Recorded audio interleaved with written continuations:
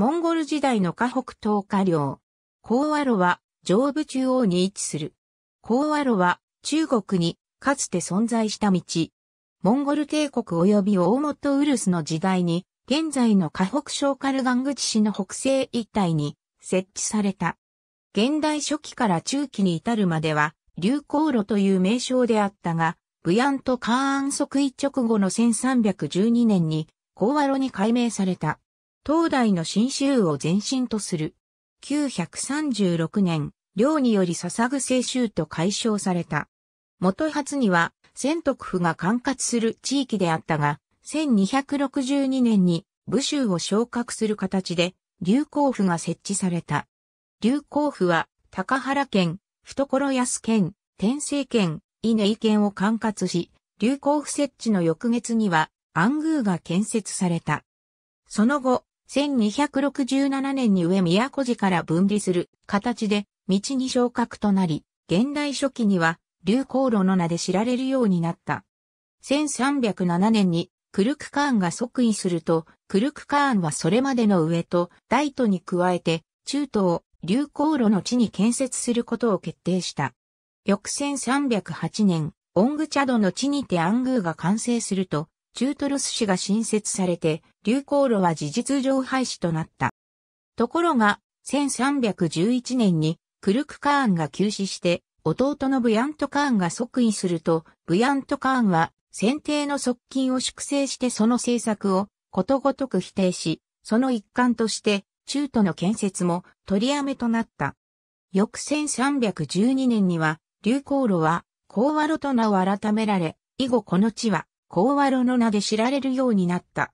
主元将が明星を建国すると、李文忠率いる遠征軍によって、高和路は陥落し、高和守が設置された。高和路には4県、1州が設置されていた。原始末期後清楚本義に、中東3年11月母神、マスブ州タメ流行府、も昔らつわつ脱衣相関、割仙徳の懐安、天聖及びい、安氏、高原霊園柳1930、636ページ、原始巻後清楚本義に、中東3年12月土の糸ら、県安宮を流行路、原始巻六清楚本義さん資源4年春、正月土の馬、石城と流行富士ため一路、行走館富士、原始巻22武装本義1、次第元年秋7月人術、左官骨殺と暗偶星。立中鶴森事件、平木康史と。総監府、原始巻24人相本義1、次第4年夏4月水の問い、まかりむかなか鶴森寺、また桶流航路総監府、盆葬桶塚サーリー室まかりむかの、原始巻24人相本義1、後継元年冬10月講師、改め流行路ため高和寺、玉物議員、原始末期58シリング10チリシ1、高和路高和寺、上、東族新州、金桶十円賃、五小ため県、またます部州、西族系、現中東三年、も、軍ため、内タスク、マス高沖寺総監府、県安宮、